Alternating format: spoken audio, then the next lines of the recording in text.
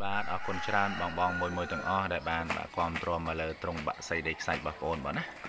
បាទជូនពរបងបងមួយមួយទាំងអស់បាទហេងហេងឈ្នះឈ្នះគ្រប់ការប្រកួតបងណាបាទហើយសម្រាប់ទីតាំងបងប្អូនគឺនៅខាងបាទខេត្តកពតបងនៅតានីទុកមាសបងណាបាទសម្រាប់បងបងដែលចង់បានមន់វៀតណាមល្អល្អអាចធ្លាក់ទៅបងប្អូនបានបងអរគុណច្រើនបងណា